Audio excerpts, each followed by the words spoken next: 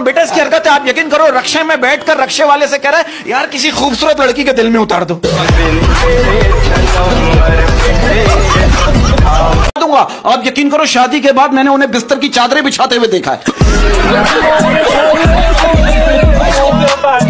मैंने एक चीज़ नोटिस की है।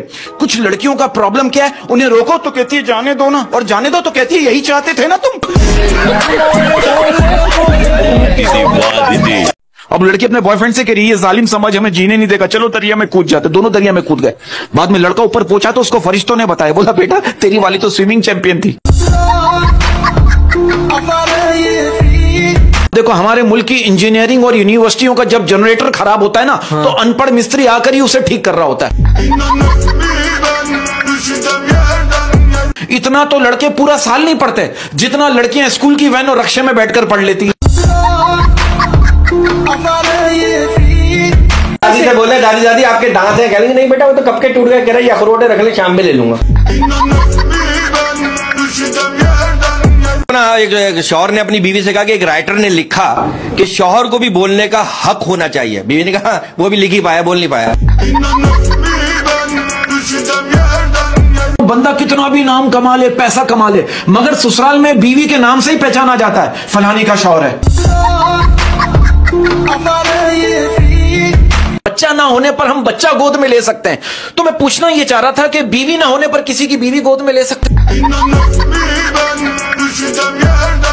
और आज के दौर में तो अगर बच्चा ज़्यादा खाने लगे ना तो घर वाले समझते हैं ये बड़ा होकर पॉलिटिशियन बनेगा। एक मुर्गी अपने तीन बच्चों के साथ सड़क क्रॉस कर रही थी। सड़क क्रॉस करने के बाद मुर्गी का एक बच्चा बोला आखिर हम पाँचों ने रोड क्रॉस कर ही लिया। सोचो पाँच कैसे? कैसे भाई, बच्चा है, कुछ भी बोल सकता है। अब गर्मी में आप घर में एसी पंखा फ्रिज चलाने से पहले ये ख्याल रखें कि 200 यूनिट क्रॉस करना इंडिया का बॉर्डर क्रॉस करना है। आप देखो, हमारे घर से अगर सोना और पेट्रोल निकल आए तो वो हुकूमत का है, और चर्च निकल आए तो वो हमारी है। देखो एक लड़का मुझसे कह रहा कह रहा बरकत भाई हमसे अच्छा तो प्रेशर कुकर है जिसकी एक सीटी पर लड़की भागी चली आती है। हमारे मुल्क में शोहर अगर रोमांटिक होकर बीवी की गोद में सर रख देना तो बीवियाँ जुमे देखना शुरू कर देती हैं।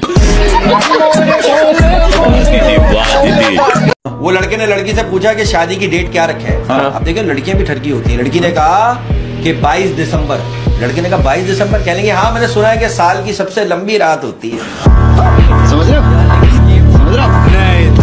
अब आप देखो बादाम कह रहा है मेरी शक्ल जो है बिल्कुल आँखों जैसी है। अखरोट कह रहा है मेरी शक्ल जो है बिल्कुल दिमाग जैसी है। पिस्ता कह रहा है मेरी शक्ल जो है बिल्कुल गुर्दे जैसी है। बराबर में केला खामोश बैठा हुआ था। वो कह रहा है प्लीज़ आप कोई दूसरी बात करें यार।